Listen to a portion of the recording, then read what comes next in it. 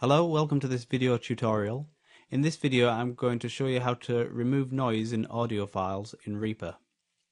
The first thing I'm going to do is record an audio file.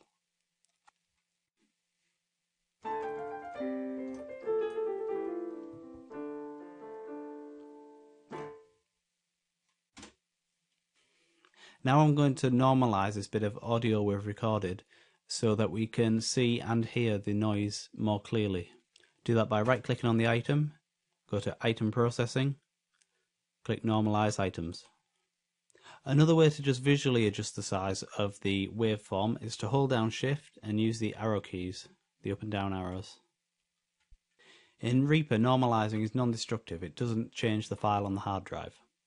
Okay, so now that we can see the audio a bit better, I'm going to turn the volume down slightly so it doesn't deafen us and play back the file.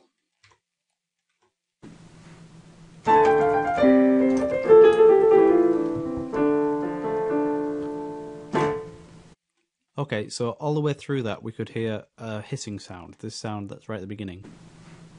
And what we're going to do is remove that hiss. So the first thing to do is to go down into the mixer, find our track, we've only got one here, click on the insert effects slot and type in R-E-A-F-I-R,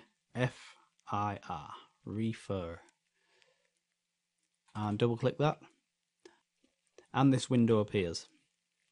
ReaFir is a dynamics processing plugin. You can use it for lots of things. In this case, we're going to use it for noise removal.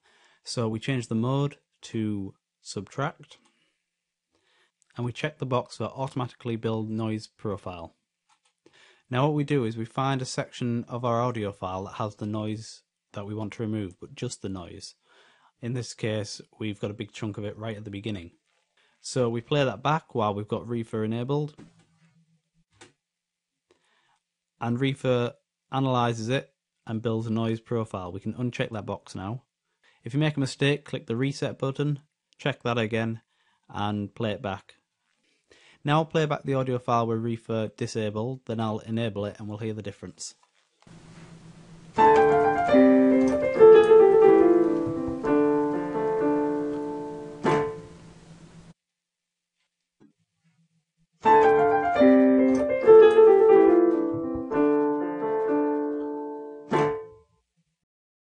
So you can hear that ReaFir is stopping the noise coming through. And it's not always perfect doing it this way. So what you can do is you can actually go into ReaFir and adjust the waveform manually with the mouse. You can redraw it like that, which is rather clumsy. Or you can hold Control and move the whole waveform up or down. And Control Z works in this, undo and redo. Control Z and Control Shift Z. But generally that's okay. I mean, even if a little bit of noise gets through, depending on the context of your audio file, if it's going to be hidden in a mix, you may not even notice that tiny bit of noise getting through. Now, using ReaFir like this, we have it on the mixer. Every time we play back this audio file, ReaFir does its thing. It analyzes the file and it takes away the noise.